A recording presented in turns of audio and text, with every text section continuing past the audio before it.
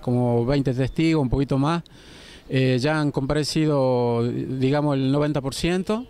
Eh, la defensa renunció a un listado que había propuesto, que no me parecían de todas formas relevantes porque no eran testigos presenciales, no podían, me parece, aportar mucho al declaramiento del hecho.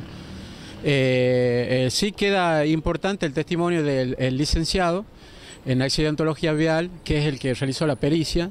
Eh, ese sí queda para el próximo martes a las 15 horas, el testimonio de esa persona que es muy importante. ¿Qué se trata, porque eh, eh, el, señor Pérez Rus, que es integrante de la Policía Técnica Judicial, que nos puede ayudar a determinar este, la velocidad que lleva el rodado que manejaba el señor Nieto, el recorrido, etcétera, porque es una prueba, la, la, pericia accidentológica, que reproduce una dinámica del accidente, se, se, expresa sobre base científica, ¿me entiendes? Es decir, tiene una entidad objetiva eh, eh, mayor inclusive que la que pueda aportar una persona como testigo, ¿no?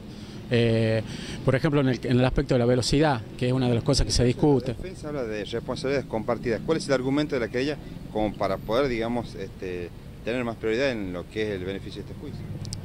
Eh, sí, mm, eh, digamos, eh, lo que sí quedó, para mi modo de ver, verificado por testigos presentados por la querella, como inclusive en la última audiencia que pasó, este, uno de los testigos ofrecido por la misma defensa reconocía que en esa zona es usual que la gente use la calle para transitar y no la vereda, porque inclusive hay un, hay un local comercial, hay concretamente una gomería que eh, eh, eh, supera la línea municipal, se introduce sobre lo que sería la vereda y eso obliga a que la gente en esa zona forzosamente se vuelca a la calle para caminar, ¿me entiendes? Entonces, de todas formas, yo creo que esto ni excusa ni justifica el accionar del imputado.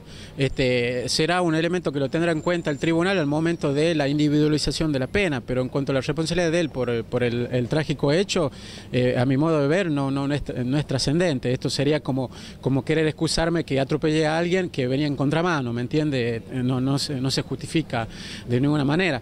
Este, pero bueno, el martes continúa, eh, termina ese testigo que, le mencioné, el licenciado, eh, y luego ya se hacen los alegatos, el próximo martes a las 15 horas, y sería ya la última audiencia. Y de ahí ya pasarían, eh, eh, se dice autos a resolver, es decir, donde el tribunal en, sesión secreta va a deliberar y finalmente se va a expedir, ¿no? Este, si hace lugar el tribunal a condenar al imputado por la acusación que ha hecho el Ministerio Público Fiscal de homicidio simple cometido con doble eventual, este, eh, nosotros estamos apoyando esa, pretensión de la querella, pero no obstante, eh, o sea, nuestra expectativa es que haya una condena que implique privación de la libertad.